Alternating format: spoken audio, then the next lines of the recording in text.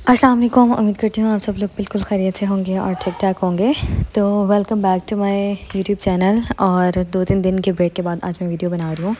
तो ये जो दिन है, ये ईद की रात से ही शुरू होता है, ईद के फोर्थ डे से। और हमने रात में पिज़्ज़ा मंगाया था, क्योंकि हम लोग काफ़ी दिन से घूमे जा रहे थे, घूमे जा रहे थे और घर में ऐसा कुछ बना नहीं रहे थे, क्योंकि सुबह से दावतें शुरू होती थी और रात तक दावतें चलती थी।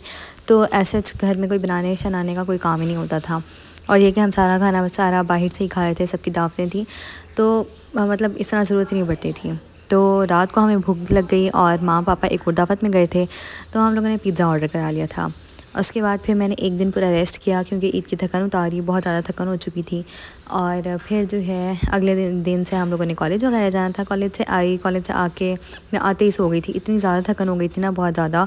तो आके फिर मैंने बस थोड़ा सा खाना शाना खाया। उठी, सो के उठी और फिर मैंने खाना खाया। और ईद पे चारों के चारों दिन ना हम लोग कॉन्स्टेंटली हम बाहर रहे हैं। तो घर में ना अब दिल ही नहीं लग रहा था। तो बड़ी मुश्किल से मैंने घर में दिल लगाया है। और मुल्तान का मौसम बड़ा अच्छा हो गया है भाई। इतने मज़े की बारिश हुई है और पंखे शंखे जो चलने थे ना वो बिल्कुल बंद हो गए हैं। इनफैक्ट हम लोगों ने ना एक हफ़्ते पहले एसी सर्विस करवाया कि भाई ईद पे ना एसी वगैरह चल जाएँगे सही है? तो एक हफ़्ते पहले हमने एसी सर, सर्विस करवाए हैं और हमारा ये अंदाज़ा था कि ना ईद के ईद पे नहीं तो ईद के बाद फ़ौरन एसी चल जाएँगे लेकिन भाई मौसम ने क्या पलटी खाई है और इतनी मज़े की बारिश हो गई है और बारिश होने के बाद क्या मौसम हुआ है पंखे शंखे सब कुछ बंद हो गया है। और भाई मुल्तान में तो बस बाहर बैठने का इतना मज़ा आ रहा है ना, पता चल रहा है कि भाई स्प्रिंग्स आ गए हैं। और यहाँ पे हमारे साथ सामने वालों के घर में ना शादी हो रही है और मज़े की बात, इन्होंने हमें शादी पे नहीं बुलाया। कितने मज़े की बात है। तो बस मैंने थोड़ी सी शाम वाम इंजॉय की और उसके बाद जो है मैंने कज़न से कुछ चीज़ें मंगवाई थी मतलब ये पापड़ शापड़ खाने के मंगवाए थे। अच्छा मैं ना ईद पे पूरा मतलब घर के खाने खा खा के खा खा के बिल्कुल थक चुकी थी और मेरा दिल चाहता था कि मैं ना कुछ गंदा, गंदी चीज़ें खाऊँ ना, गंद बला जो चीज़ें होती हैं तो वो खाऊँ। ये सारे चीज़, पापड़ ना और मेरे दोस्तों ने भी मंगवाए थे मुझसे। तो मैंने ना ये सारे बस बैग में रखने लगी थी, लेकिन पता चला कि भाई एक में जो है वो शॉपर पहले ही खोल रखा है मेरी बहनों ने। तो शुक्र है, मैंने उनके सामने नहीं खोला, वरना बेजती हो जाती। तो ये सारे मैंने बैग में रखने थे, बैग बनाना था। और उसके बाद जो है ना, मैं अपनी एक दोस्त से ना जन्नत के पत्ते नावल लेके आई हूँ। मैंने बहुत ज़्यादा हाइप उसकी सुनी हुई है।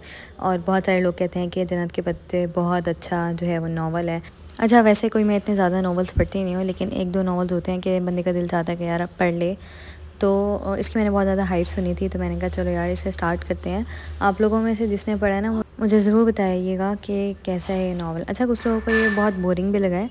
मेरी दोस्त की बहन है, उसे तो बहुत बोरिंग लगा ये नावल लेकिन मेरी दोस्त को बहुत अच्छा लगा था। तो देखते हैं अब क्या होता है।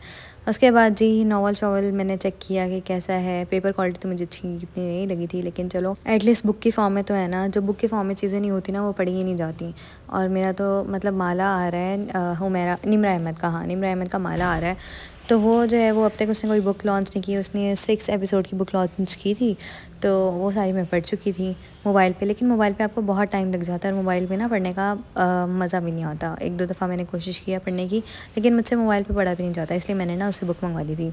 और उसके बाद बस जो आज मैं कपड़े पहन के गई थी कॉलेज, मैंने आज वो तय किए और क्योंकि आजकल हमारे कॉलेज में ना स्पोर्ट्स वीक चल रहा है प्री स्पोर्ट्स वीक तो उसमें ये सीन होता है कि यार, हर कोई ना मतलब मैक्सिमम अच्छे अच्छे कपड़े पहन के आता है, मैक्सिमम तैयार होकर आता है। तो मैंने सोचा कि मैं ना एक ही रात पहले ना सारे कपड़े निकाल के रख लिया करूँगी और ना इस्त्री वगैरह भी एक ही रात पहले कर लिया करूँगी, ताकि ना मुझे फिर नेक्स्ट डे जाते हुए ना मुश्किल ना बिल्कुल भी।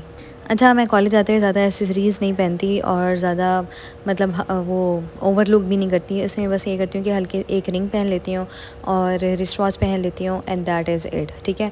उससे ज़्यादा और स्टड्स पहन लेती हूँ मतलब बिल्कुल हल्के हल्के जो पर्ल्स वाले स्टड चल रहे हैं ना, आजकल तो वो पहन लेती हूँ। इससे ज़्यादा और मैं कुछ भी नहीं करती क्योंकि मुझे इससे ज़्यादा करना अच्छा भी नहीं लगता और कॉलेज की अप्रोप्रिएट वाली लुक भी ना, अगर आप ज़्यादा हैवी मेकअप कर लो या हर चीज़ हैवी हैवी कर लो तो उसमें वो वाली लुक आती भी नहीं है। और शाम में मैंने काफ़ी सारे बर्तन नज़र आ रहे थे मुझे सिंक में तो मैंने कहा, चलो, वो धो लेते हैं। मामा की भी ना आजकल तबीयत सही नहीं है। उन्हें जो है, वो रमज़ान में गेस्ट हो गया था। और अब जो है, वो मौसम एकदम से चेंज हुआ ना तो हमने पंखे शंखे चलाए काफ़ी अर्सा। और ये कि फिर मामा को ठंड लग गई तो मामा को आजकल बुखार हुआ हुआ है।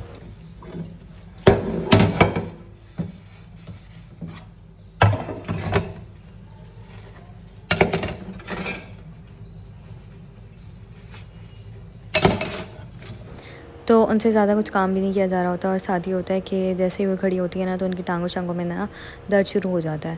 तो मैक्सिमम ये होता है कि यार, जितना हेल्प हो सकती है मामा की करा देती हूँ, बाकी मैं कॉलेज से ही बहुत देर से आती हूँ तो इतनी तो मैं कुछ ज़्यादा हेल्प नहीं करा पा रही होती। तो आजकल मैं फ्री भी हूँ, स्पोर्ट्स वीक भी चल रहा है तो मैं जल्दी आ जाती हूँ तो मैं जितनी हेल्प होती है ना मामा की करा देती हूँ। उसके बाद जो मैंने ईद पे मेकअप शेप का निकाला था ना, वो भी अभी तक मैंने रखा नहीं था वापस, क्योंकि कॉन्स्टेंटली दावतें चल रही थी। तो बस मेकअप उठाते थे, लगाते थे और वापस ना यूँ ही फेंक के मैं चली जाती थी। तो मैंने मेकअप भी सेट करना है और साथ जो है वो मैंने अलमारी का दोबारा से कबाड़ा निकाल दिया है। पता नहीं मेरे साथ क्या होता है कि यार मैं कपड़े, एक कपड़ा निकालती हूँ, दूसरा कपड़ा घिर जाता है मुझसे। फिर मैं दोबारा उसे सेट नहीं करती। ट्राउज़र्स अच्छा मेरा ये होता है कि एक साइड पर ट्राउज़र्स रख देती हूँ, एक साइड पर जो है सारे दुबट्टे रख देती हूँ और एक साइड पर जो थ्री पी सूट होते हैं वो रख देती हूँ और एक साइड पर सारी शर्ट्स वगैरह रख देती हूँ। लेकिन भाई मैं एक जब मतलब सीक्वेंस से नहीं उठाती ना मैं जिस तरह शर्ट्स रखी हुई होती हैं तो मैं सीक्वेंस से नहीं उठाती, वो जो पसंद आती है वो बीच में से निकाल लेती हूँ तो बाकी का बिल्कुल जो है वो कबाड़ा निकल जाता है, वो सारी गिर जाती हैं। तो फिर उसके बाद मेरे पास इतना टाइम ही नहीं होता और दिल भी नहीं चाह रहा होता कि दोबारा अलमारी सेट करूँ। तो वो करते करते हफ़्ता, दो हफ़्ता जब गुजर जाते हैं तो अलमारी का बिल्कुल हशर नशर हो जाता है। फिर मुझे ख्याल आता है कि नहीं, अब अलमारी बहुत बुरी हो गई है और इसमें से और कपड़े नहीं निकल सकते। और ये कि मुझे बहुत मुश्किल होगी अब कपड़े निकालने में। तो इंसान बन के ना अब अलमारी सही कर लेते हैं। तो इसके बाद मैंने बस अलमारी सही करनी है और आजकल वैसे भी मौसम अच्छा हुआ हुआ है तो हर काम ना करने का दिल चाह रहा है। सोने का भी बहुत दिल चाह रहा है नो डाउट तो आ, मतलब अब मौसम अच्छा होना तो मेरा दिल चाहता है कि मैं मैक्सिमम काम जिस दिन मौसम अच्छा होना उसी दिन कर लूँ। वरना गर्मी में तो मुझे सांस नहीं आ रहा होता और ये कि बस मैं वॉशरूम के चक्कर ही काट रही होती हूँ बार बार शावर ले रही होती हूँ। अच्छा मैंने ना रमज़ान में बहुत सारी शॉपिंग की थी नो डाउट बहुत सारी शॉपिंग की थी, लेकिन उसमें ना बहुत सारी चीज़ों के साइजेस भी मुझे नहीं मिले थे। मैं गर्दे से मार्केट गई, वहाँ से मुझे एक वाइट चप्पल लेनी थी, मुझे वाइट चप्पल नहीं मिली। फिर मैं ब्लैक एंड वाइट कलर का सूट लेके आई थी, वो मैंने स्टिच होने के लिए देना है अभी तक।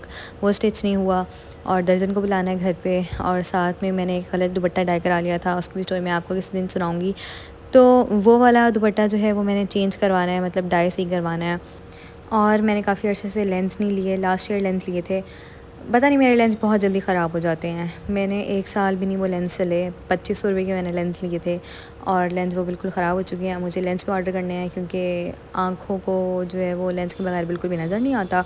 और वैसे भी ना, मुझे बहुत ज़्यादा लेंस की आदत हो गई है कि अगर मैं किसी फ़ंक्शन पे लेंस ना लगा के जाऊँ ना तो एक तो मुझे अपनी आँखें अच्छी नहीं लगती। और सेकेंडली ये कि नज़र भी नहीं आता।